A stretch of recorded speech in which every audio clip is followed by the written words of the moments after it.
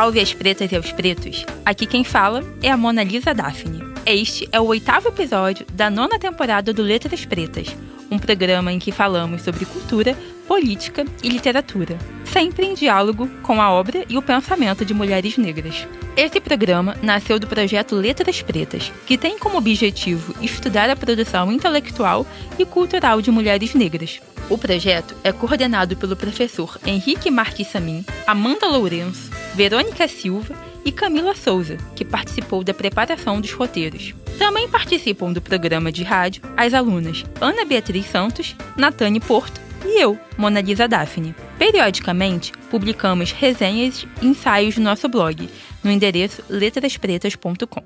Linda, te sinto mais bela, te fico na espera, me sinto tão só mais o tempo que passa, em dor maior, bem maior. No programa de hoje, falaremos um pouco sobre a trajetória da nossa rainha das lives na pandemia, nossa TT, a incrível Tereza Cristina. Quem aqui acompanhou as lives dela na pandemia?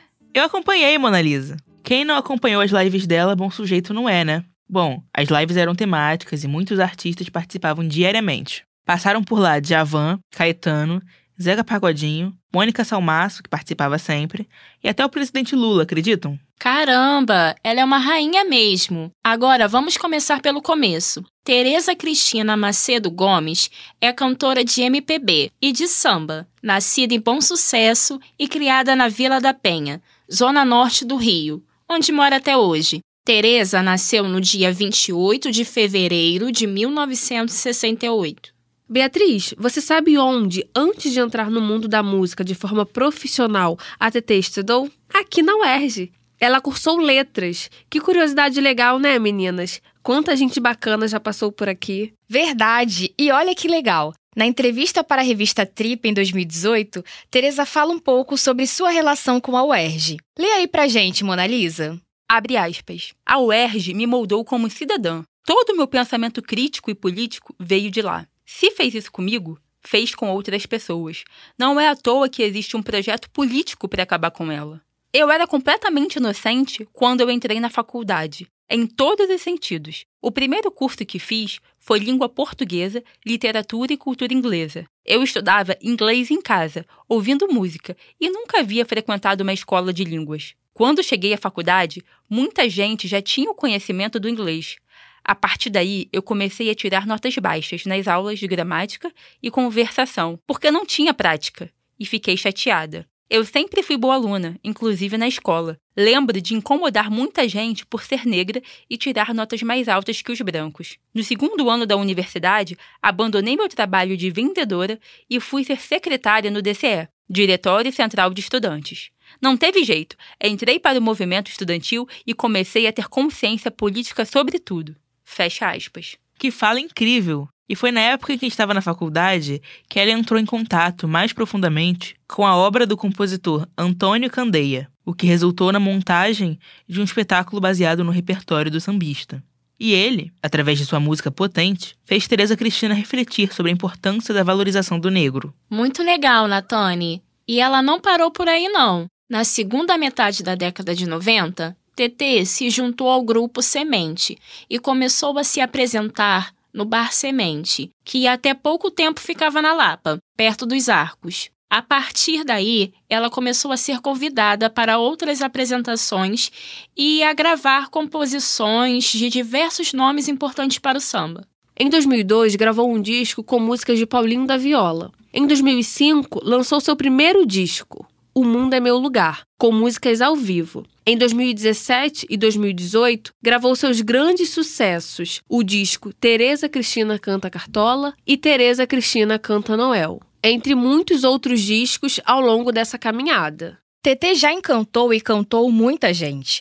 Hoje é reconhecida como uma das mais importantes figuras do samba contemporâneo, ao lado de Dona Ivone Lara, Martinalha, Leci Brandão e tantas outras. E é sempre bom reforçar o quanto o TT é importante na luta antirracista e feminista dentro e fora do samba. Bem sabemos que muitos espaços do samba, ainda hoje, são bem masculinos e brancos. TT usa sempre sua voz política e é importantíssimo termos uma mulher negra ecoando sua voz para milhares de pessoas, né? E a voz dela é também a voz da Tia Ciata, do Zequete e de muitos outros nomes do samba que a formaram. E em 2020, como falamos no início do episódio, TT começou a fazer suas lives e, com isso, criou uma rotina para milhares de brasileiros em uma época que a gente não podia sair de casa, né? Eu mesma me arrumava todo dia para assistir as lives da Teresa, sempre empolgada com os convidados da noite. Até petiscos eu fazia para acompanhar, acreditam? E o mais legal era que as lives não serviam somente como um palco para apresentações musicais, mas serviam também como um espaço para discussões políticas muito importantes. E Mona Lisa, foi justamente por se posicionar politicamente e por levar para as lives resistências diversas que TT começou a sofrer vários ataques racistas. E com isso, preferiu parar as lives, já que para ela, as lives eram um espaço de troca e de respeito. Quem não conseguiu acompanhar as lives consegue assistir muitas delas salvas no Instagram da TT. Verdade, Natane. Tereza Cristina é sinônimo de resistência a um samba que, por muitas vezes, é bem machista. E é orgulho da Zona Norte do Rio de Janeiro, e inspiração para tantas pretinhas. Na pandemia, ela foi poesia e acalento, em um momento tão difícil para todos nós. E ela continua sendo Viva TT, Viva Tereza Cristina. Viva! Que cada vez mais celebremos nossas referências em vida. Galera, infelizmente vamos ter que encerrar o nosso papo por aqui, por conta do nosso tempo. Vamos deixar nossas palavras finais. É isso aí, pessoal. Ouçam Tereza Cristina e outras tantas mulheres negras que cantam o Brasil, a negritude, o amor, a saudade, entre tantos outros temas. Muito obrigada por nos ouvirem. Até o próximo episódio. Um abraço e até a próxima temporada. Continue nos acompanhando e a gente se vê na próxima temporada. Lembrando que periodicamente publicamos resenhas e ensaios no blog letraspretas.com.